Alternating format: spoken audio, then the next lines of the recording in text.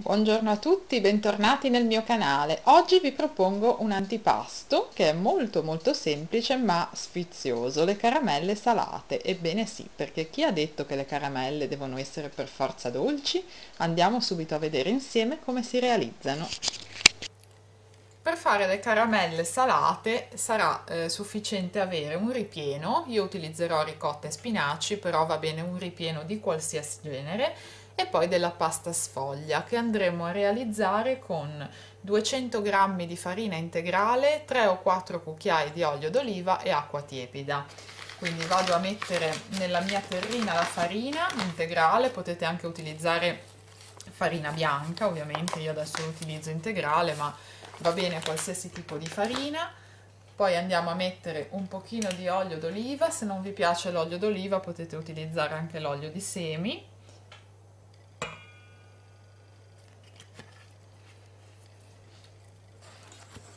bisogna mescolare la farina e l'olio d'oliva e poi aggiungere gradatamente l'acqua tiepida.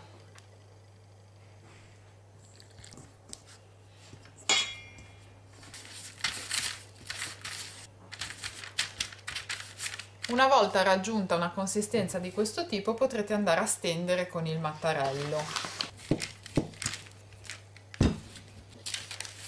Una volta steso, non preoccupatevi che sia perfettamente rotondo, il mio come vedete è molto irregolare, ma perché non ha nessuna importanza, perché poi andremo a prendere una forma rotonda, che può essere quella di una coppa del genere, tipo le coppe per i budini o le coppe per il gelato, insomma più o meno di questa grandezza, e dovremo andare a formare dei tondini di questo genere. Quindi andiamo a prendere la forma io adesso penso che ne usciranno 4 al massimo 5 vi faccio vedere il procedimento. Poi voi potete fare ovviamente il numero di caramelle che preferite.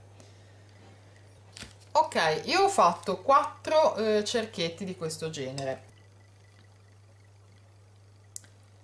Io vi consiglio di mettere solo un cucchiaino di ripieno perché se ne mettete di più c'è il rischio comunque che fuoriesca anche se fate attenzione Adesso che abbiamo messo bene il ripieno al centro, dovete prendere la parte dietro della pasta e metterla in avanti in questo modo e eh, attaccare leggermente i lati così, in modo che il ripieno comunque non esca. Poi andate a prendere la parte davanti e la andate a mettere sopra alla parte che avete appena messo. Schiacciate di nuovo un po' i lati.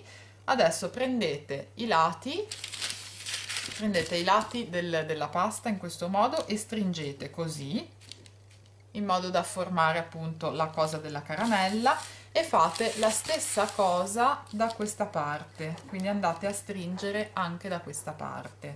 Adesso allargate leggermente i lembi esterni così in modo da formare proprio la caramella e vedete che abbiamo formato proprio una caramella salata perché è molto piccolina ha i lati qua stretti ai lati e i ventaglietti diciamo quelli che escono dalla caramella. Questo è il risultato. Queste sono le caramelle salate risultano così, sicuramente un'idea originale per un antipasto, è qualcosa di creativo, insomma di particolare. Fatemi sapere nei commenti se avevate già visto una cosa del genere, se proverete a realizzarla. Io vi mando un bacio enorme e ci vediamo alla prossima!